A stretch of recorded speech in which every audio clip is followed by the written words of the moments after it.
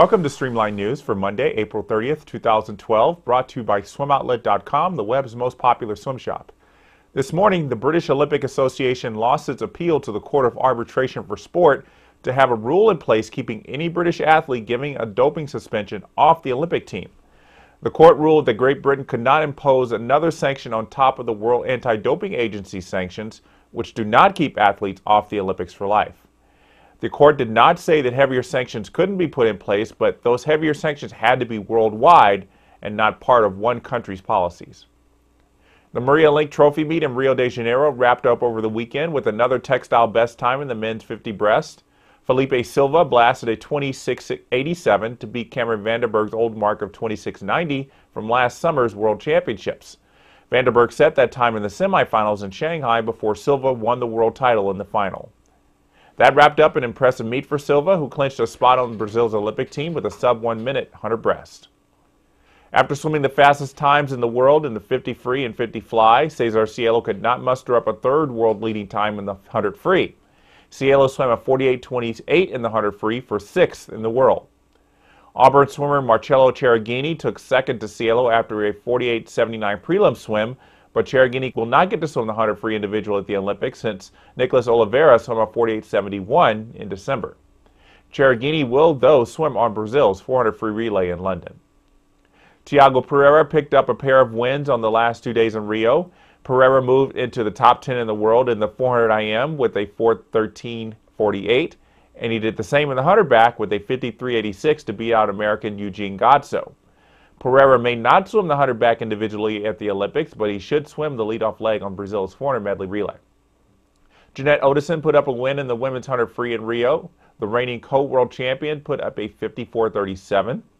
Maria Belmonte wrapped up her meet with wins in the 400 IM and 400 free, and American Charlie Houchin headed home with a win in the men's 400 free under his belt.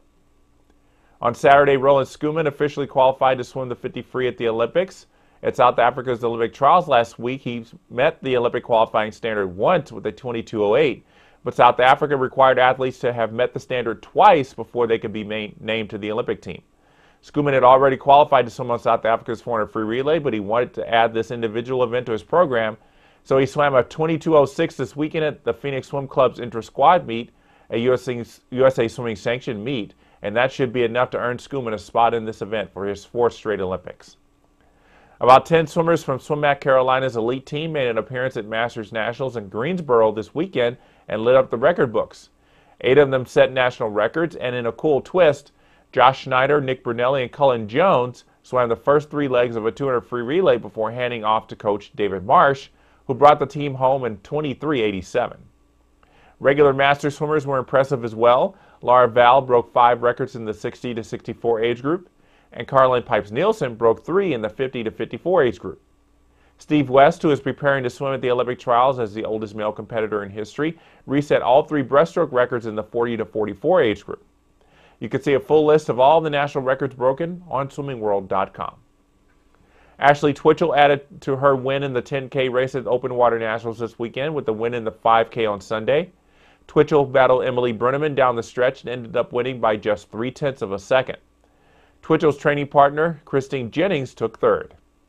Twichell, along with Haley Anderson, will represent the U.S. at the Olympic qualifier 10K race next month in Portugal, where the top American will earn a spot on the Olympic team if she finishes in the top 15. David Heron of the Mission Viejo Nadadores upset the field in the men's 5K for his first national title. The signing period for current juniors to commit to college is six months away, but Madison White is ahead of the curve, committing verbally to UCLA over the weekend. White swam in Dubai on the short course world championship team in 2010 and made the final in the 200 back, and she currently swims in Northern, Calif- in Northern California with the Crow Canyon County Sharks. Coach Ronald Ballatore, better known as Stix, passed away over the weekend after a battle with cancer. Ballatore coached the UCLA men's team to an NCAA title in 1982 and continued there until the program was cut in 1994. Ballatore then coached at Brown University and at Florida before retiring in 1999. That's going to do it for Streamline News today. Thanks for watching.